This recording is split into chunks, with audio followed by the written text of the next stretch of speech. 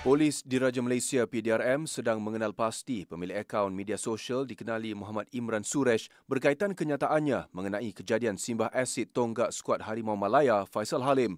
Ujar Ketua Polis Negara Tan Sri Razarudin Hussein, individu berkenaan mendakwa mempunyai maklumat kejadian yang menimpa Faisal.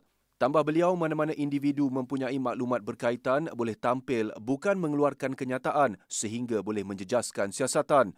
Beliau menjelaskan perkara itu ketika dihubungi media. Mengulas lanjut, siasatan masih dijalankan pelbagai sudut terhadap suspek yang direman semalam. Motif sebenar kejadian juga sedang dikenal pasti. Sebelum ini, Menteri Dalam Negeri Datuk Seri Saifuddin Nasution Ismail berkata, polis sedang mengesan pemilik akaun media sosial yang membuat hantaran bersifat serangan peribadi terhadap pemain bola sepak kebangsaan dan individu tertentu yang mempunyai kaitan dengan sukan terbabit.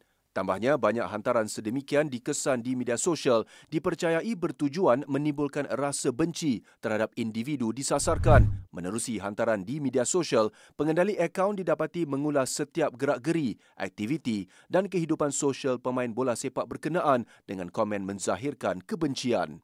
Polis ketika ini sedang menyiasat lanjut untuk mencekup penjenayah mendalangi perbuatan dua insiden serangan Faisal Halim dan Akia Rashid.